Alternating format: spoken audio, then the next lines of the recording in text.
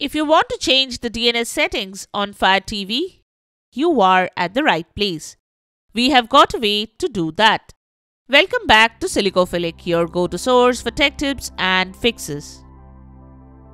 Method Change DNS settings on Fire TV. When you want to change DNS settings on Fire TV, first go to your home screen and select Settings.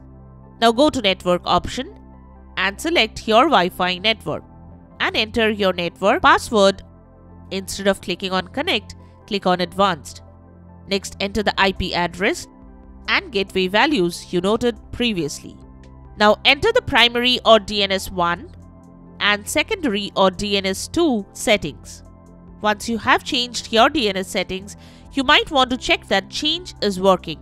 To do this, download the Firefox for Fire TV browser and visit ipleak.net you should see your new DNS server settings under DNS address detection.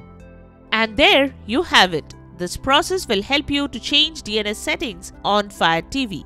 If you found this video helpful, don't forget to give it a thumbs up and subscribe to our channel for more tech tips and troubleshooting guides.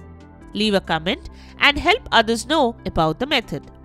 Thanks for watching and we will see you in the next video.